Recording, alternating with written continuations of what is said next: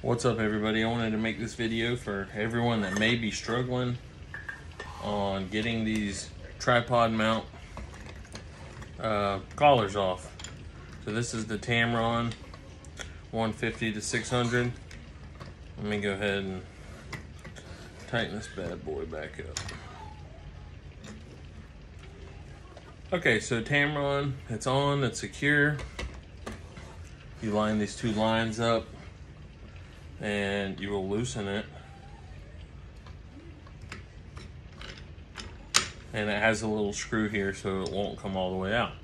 So you would think, like the Canon, you match up red to red, you would think you'd either match up this line or this red piece to something for it to come off, but it doesn't. But here's a trick. If you just hold it upside down and spin it, it will eventually fall into the grooves. Because what it is is they have these little pieces here. And these little grooves right in there. And that's how you get it off. And then to put it back on you'll just match it up. Or you could just pretty much just do the same thing. Oh joy.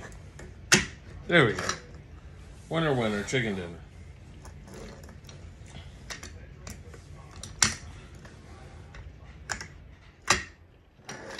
There you go.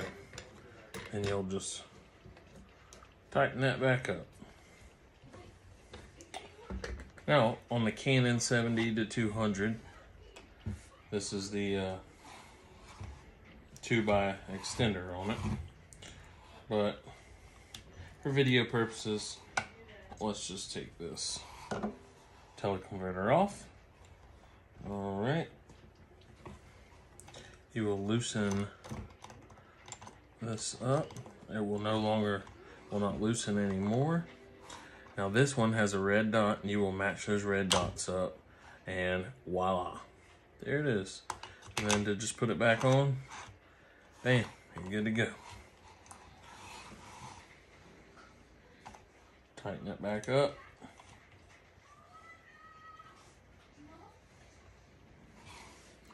And put that teleconverter back on. Boom. Well, there it is. Just in case you needed to know. Hey guys, hopefully this helped you out. If it did, go ahead and drop a like and share it so it can help someone else who might need to know. Y'all have a great day.